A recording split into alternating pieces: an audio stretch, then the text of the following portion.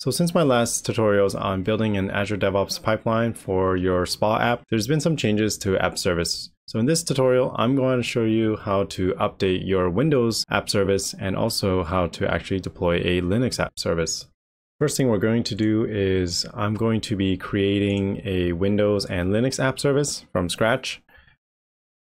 So let's go here, uh, resource group. If you already have one, make sure that you have all of your Windows um, resource groups together and all of your uh, Linux resource groups together because you won't be able to cross them. So I'm just going to name them just so I know which um, environment. And I'm also going to call this just win app, give it some random characters. Choose Windows. So the new thing you'll realize is uh, runtime stack. And what you'll want to do is basically for both the Linux and Windows environment, you're wanting to choose a runtime server that's going to support an index HTML file. So in our case, we're going to run off ASP.NET or .NET Core because that will be running off IIS and IIS will automatically detect index HTML files, which will then serve up your SPA framework. So then I'm going to choose Canada Central and then we're going to choose an app service plan. So I'm just going to call this win uh, window app service plan just to things nice and organized. And I'm just going to choose the free one for now. Apply and maybe monitor. I'm going to say no to the um, application insight. Tags is fine and should be able to create now. Okay, now that that's done, let's go add our Linux app.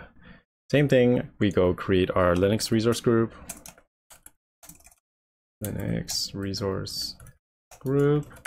And once again, optional if you already have one, Linux app, give it some random characters. Choose Linux for my runtime or for my operating system. And then my runtime stack, I'm going to choose all these options are available to you, but you actually cannot run ASP.NET on the Linux stack. I think this will probably get updated as they continue to update app service. So what you want to do, same idea, you want to basically run something that can run an index HTML. And in this case, for the Linux world, you want to choose PHP or Ruby. And if you do want to get a little bit more complex yourself, you could choose Node JS and have a index.js file that will serve your index HTML, but it's a little extra step and you'll have to configure your um, Node.js. And also if you do choose Node.js, it's going to be a little bit more complicated. So you might want to follow a Microsoft tutorial because it's not just a click and serve like these ones will be. And you will be able to reconfigure this later, so you don't have to worry too much about choosing one. Same thing, Canada Central for my location. And then I'm going to create a Linux app service plan. Change this to my free tier again. Apply and create. Perfect.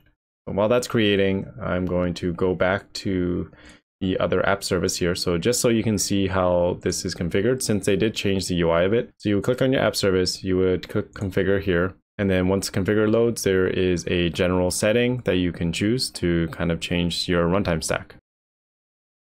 Okay, so click here and then this one right here. So I believe .NET Core is supported in Windows as of right now, um, but it will be blank because once you choose .NET, you can see the .NET Framework version will not be actually supported. So you want to make sure you discard that. So I'm not sure if you do update it, if you'll be able to run .NET Core, but when you create the app, you will be able to run it. The same idea when you have your Linux deployed, um, you go here, you choose your stack, and then you can update that accordingly.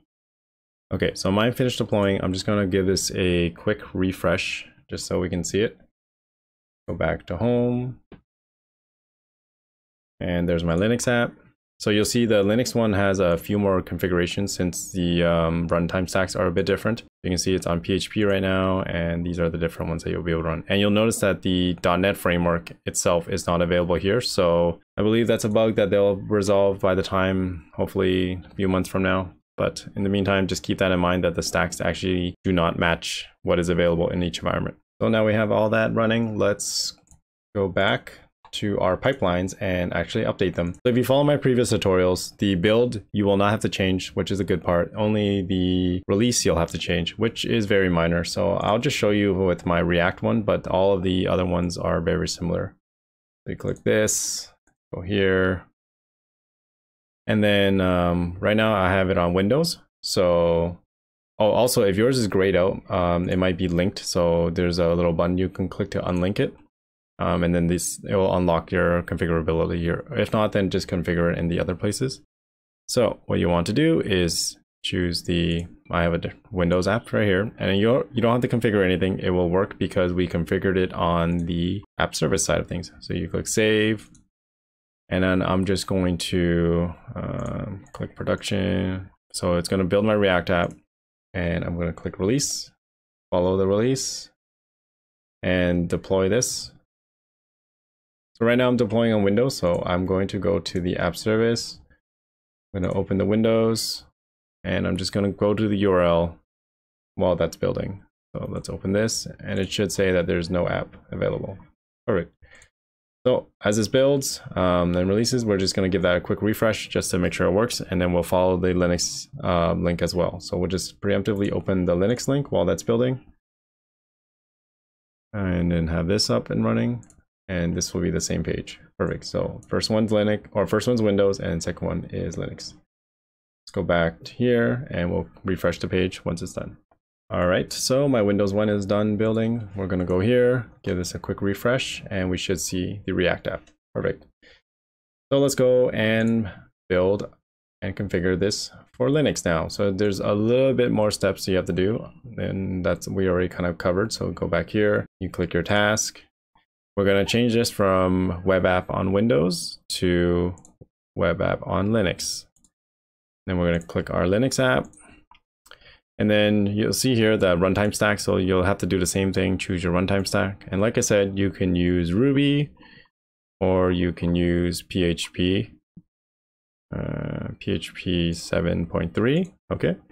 And then you don't need to enter a startup command. So if you do choose to go about the Node.js path to set up your SPA framework, make sure that you um, name your Node.js file index.js, and then you don't have to fill anything in here. If you name it server.js, you'll have to put node server.js just keep that in mind. So there's a little bit more configuration. That's why this way is much simpler.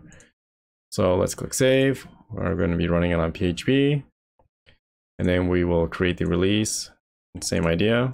Click release. Follow it through. Make sure we hit deploy or else you're just going to be sitting there waiting. All right, and I'll continue the video after it's done. So that's done building. Let's go to the Linux app and we'll give this a quick refresh. And there we go. We have our Linux app running. Um, and just do a sanity check. I'm just going to very quickly go to do the Vue app, edit the Vue app, do the same thing, just to show you guys that it works exactly the same. And I will show you actually running on Ruby as well. So choose this one um, instead of Python, I'm going to now choose Ruby. And don't have to enter anything in the startup command. Uh, click save. Create release. Oops. Uh, staging. Create. Uh, release 9. Deploy. And as soon as this is done, I will refresh the Linux app. All right, so my Vue app has finished deploying. Let's go here, refresh this, and now it's on a Vue app. Thank you guys so much for watching. I hope this update video helped you guys out. I know app service is constantly moving, constantly changing. So with a lot of the cloud technology stuff, they're always updating, they're always changing. If this helped you out, like the video, subscribe to the channel for more future videos. Comment below if there are more breaking changes I need to update on.